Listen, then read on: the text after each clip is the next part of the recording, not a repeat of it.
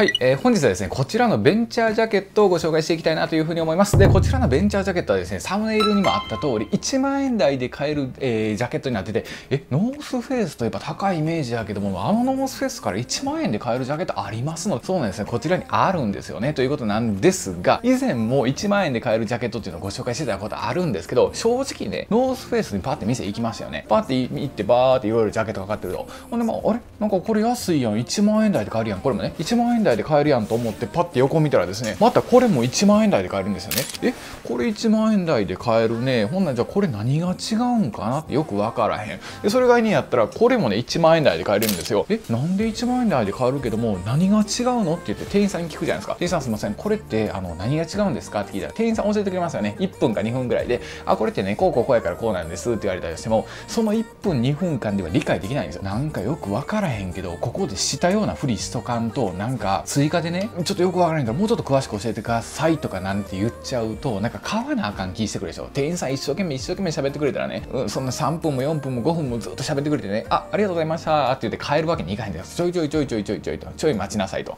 こんだけ喋ってんからちょっと試着ぐらいしてよと言われたりしたら困るのでね。なかなか違いが分からへんっていう方もいらっしゃると思うんですよ。だからねまあまあおいおいこれは別動画でまた違いとかもね喋ろうと思います。この辺がね全部1万円で買えるジャケットでまあこれは1万円じゃないんですけどもまあ大体この辺が似てる感じなんで、まあ、何が違うんですかっていうことをねあの動画にはしようと思ってるんですけども今回はその中でもこのベンチャージャケットっていうジャケットやったよね。そうですね。ベンチャージャケットについてお話していこうと思います。なのでねで多分ねこれ見ていただいてる方もねベンチャージャケットっていう存在は多分ご存知だと思うんですよ。っていうのもなんでっていうとやっぱり導入でめちゃくちゃ買いやすいんですよね。1万6000円で結構薄手なタイプなってて大体薄手っていうと水が弾いたりしてるぐらいで防水ではないんですよ。だから雨に濡れちゃうっていうのがあるけどまあ薄いからいいでしょうぐらいに思ったけどこれに関しては薄いのにちゃんと防水ですやんというところでしかも値段も安いやんというところでいいとこずくめやと思いきやそうではないんですよね。なんて言って、まあ、今日はねこのベンチャージャケットをご紹介していこうというで本日の流れとしてはまず最初にパーッとあの外観ねあの前も後ろも見てもらってほんでその次に特徴ですよね。さっき言ったみたいな感じで薄いとかっていうのも特徴やしまあもちろん防水とかっていうのも特徴なんですけどそれ以外の特徴もちゃんと喋ってほんでその次にとは言いながらなんでこれが最初は通るねんけども好き嫌いがはっきり分かれるというかまあそんな感じになってるんかっていうのはねまあデメリットでお話してでその次におすすめの人。そしてその次サイズ感。ほんで最後にまあ本音をねちらっと僕の本音を喋るのでまあ興味ない方はいいんですけどタクズはどう思ってんのって言われるところをね、まあ、正直に話していこうじゃないかということでまず外観見ていきましょうか。はいとまあこんな感じになっててですねまあ刺繍でねノースフェイスって入ってますわ。これピューって合わせていくと。こんな感じでね刺繍でノースフェイスって入ってて、まあ、見てもらったら分かる通りザラザラしてるような感じっていうかね質感的にはそのテカテカしてる感じじゃなくてザラザラしてるような質感にはなってますね。ポケットがこっちのポケットと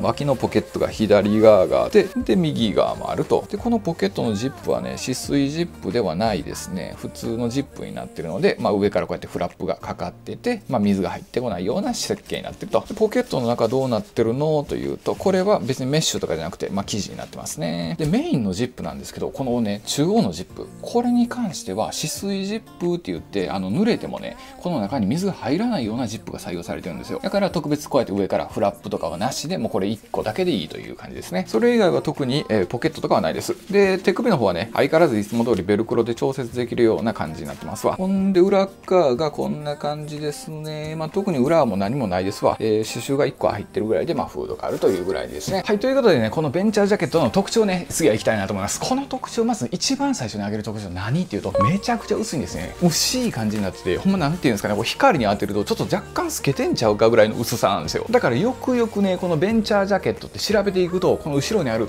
ドットショットジャケットと結構比べられたんですけど何が違うんですか？同じような感じだけど何が違うんですかっていう方多かったりするんですけどやっぱ決定的に違うのはねこの生地の薄さ。めちゃくちゃ薄いんですよ。そやからまあイメージとしては何て言うんですかねこうトレーニングウェアぐらいの薄さなんですよね。なのでまあ僕個人的にはこういったスワローテイルっていうねこれも結構薄いんですけど、まあ、これよりちょっと分厚いかな、まあ、これと同じぐらいかなぐらいのね薄さになってるので、まあ、特にこれからの春夏秋ぐらいな感じはねちょうどいいと思います。もちろん冬は無理やと思いますよ。こんだけ薄かったら冬はさすがにちょっと厳しいかなと思いますけど。まあ春夏ぐらいやったらいいんちゃいます？特にまあ今時期やったらね雨とかいきなり降ったりしてもさーって羽織ったりしたら全然濡れへんかったりするのでまあその濡れへんのはね次の特徴になるんですけど、まあ、T シャツの上にねさって羽織ったりしてもいけるような感じの薄さですね。ほんでねとは言いながらも薄いのは他もあるでしょと。男性は薄いのがお好き。これいつも言ってますよね。あの男の方っていうのは薄い薄ければ薄いほど好きっていうことであのタイトルで「薄々」って書いてるのをパッケージを見たらですねなんか知らんけど手に取ってしまうっていう方も多いとは思うんですけども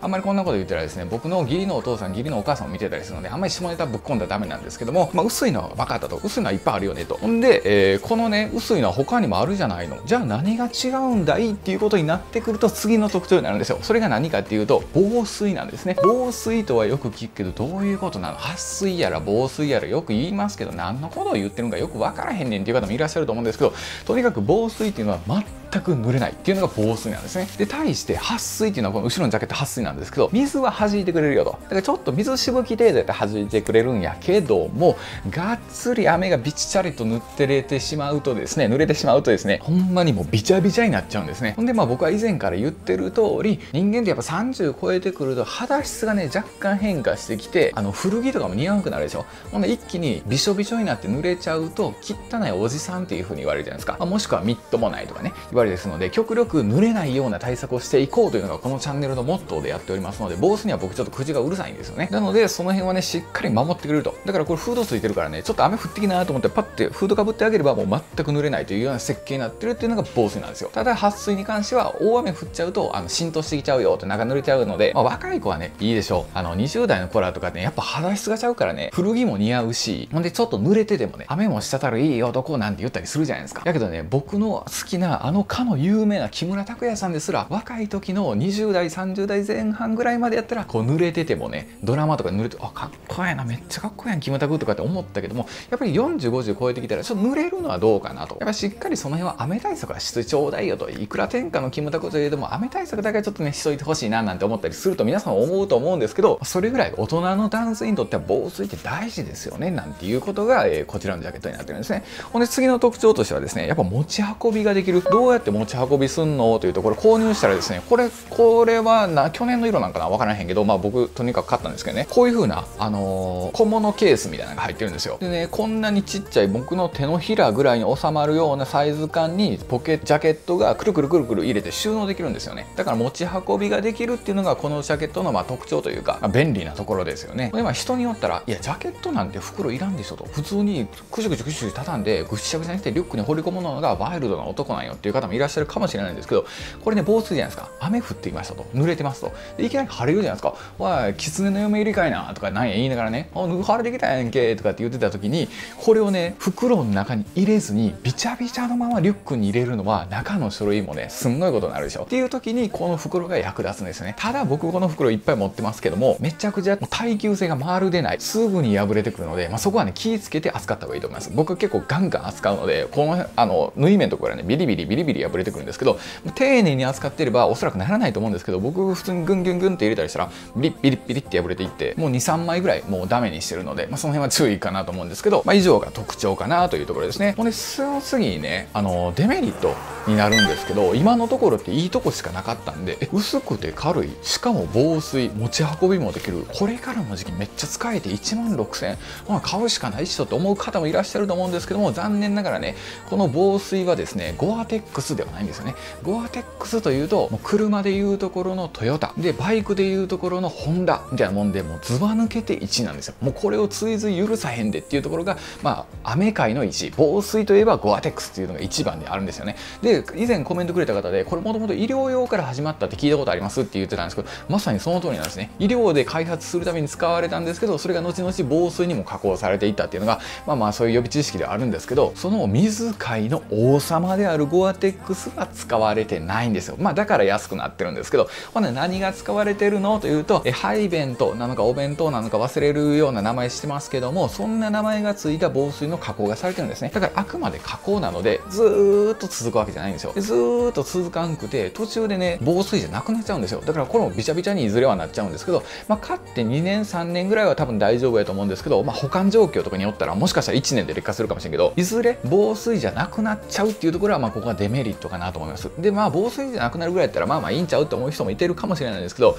防水じゃなくなった上に裏側がねベトベトなってきたりするんですよ。だからもう半袖では着られへんようになったりとかそれこそ中に着てる服とかについたりとかする可能性があったりするっていうことで結構ね一番最初には通りやすいジャケットやから安いからねあ買おうかなとかって思ったりして買った方もいらっしゃると思うんですけど、まあ、最終劣化してねやっぱゴアテックスがいいなって思いはる方が一周回って多いんですよね。これはあの人によるので別に、まあ、劣化したって安いから全然ええやんっていう方もいらっしゃったりするんですけど、まあ、この劣化して防水機能がなくなっちゃうというところがまあデメリットかなと思います、まあ、なんで防水機能がなくなるのというのはねあのこのドットショットの時もちらっと話したことあるんですけどもなんでなのというとですねこの裏のねコーティングがねあの湿度でやられるんですよ。あの空気中に湿度ってあるじゃないですか。でどんだけ湿気がない部屋って言ってめっちゃ乾燥してるなこの部屋言うたって20%はね大体湿度ってあるんですよ。それぐらい日本ってねあの湿度が高い国。ほんで湿気がすごい梅雨時期なんかも80%もね湿気があったりしてなんか壁の隙間からカビ出てきたりとかね。あと髪の毛がねうねってきたりとかするじゃないですか。でそれなんでなの？というと湿度なんですけどその湿度とこれが反応するんですよね。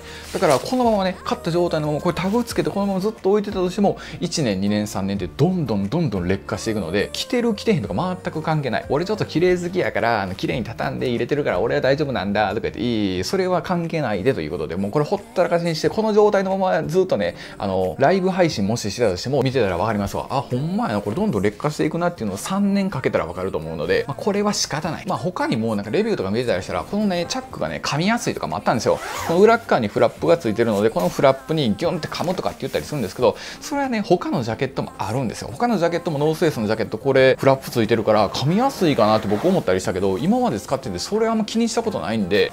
このね中のフラップを折った状態で締めたりすると引っかかってくると思いますけど普通に使ってる分にはそんな気になるようなことじゃないんかなってまあ思います。し、まあ、それ以外にもねストレッチ性はないんですよ。だから伸びたりとかしないんで、まあ、伸びるジャケットが欲しいんだったらね。こっちのジャケットはねビヨンビヨンビヨンビヨン伸びてくるんですけどこれは伸びるようなジャケットじゃなくて、まあ、防水機能のついたジャケットって思ってもらったらいいんかなというところで、まあ、最大のデメリットはやっぱ防水ですよね。防水がなくなっちゃうというところになってるかなと思います、まあ、それ以外はねあの持ち運びもしやすいし、まあ、おすすめの人でも言うんですけどとにかくこういう軽量なジャケットってもうめちゃくちゃいいんですよね、まあ、何がめちゃくちゃええのっていうとこんなん使わんと思うじゃないですか。いやジャケットっていうのは寒い時期とかに着るだけのもんで夏とか春とか秋とかっていうのは多少寒くても半袖で男は我慢すべきやみたいな。半袖の白 T にデニム履いてビーチボーイズの反町隆史みたいに行こうぜとかもうちょっと昔の人とかやったらいや吉田栄作っぽい感じで行こうよなんて思う方もいらっしゃるかもしれないですけどもう時は令和なんですね。今は令和時代になってて令和時代っていうのはそのワイルドスタイルもかっこいいんですけど TPO に合わせた感じの方がよりかっこいいかななんて思ったりしてるんで、まあ、大人の方でもねちょっとまあ肌寒い時なんかはこういうのさって羽織ってあげたらもう暴風にもなってるかね風全然入ってこうへんやんともなるしほんでそれ以外にやったらこう特に今キャンプとか行ってたりしたら山奥の方で天候変わるでしょ。ほんで雨降ってきたわ言うた時なんかもこれをね着た状態で設営したりとかあとまあなんか火起こししたりとかっていうのもできたりするのでやっぱりね外で使うことがメインの方。なんかにはこれ重宝すると思います。いやもうすぐ脱いであのポケットに入れたりもできるしですぐ着たりもできるし雨にも対応してるし風にも対応してるっていうことで、まあ、春夏秋の一着としてはまあ持っとくべき。ただこれが防水がどうなるかっていうところなんですけどね、まあ、他にも防水だけで言うならもうゴアテックスのこういうバージョンなんかもあったりはするんですよね。ただやっぱお値段がねなんて言ったりするんですけどこのジャケットに関してはまあそんなところがおすすめかなと思います。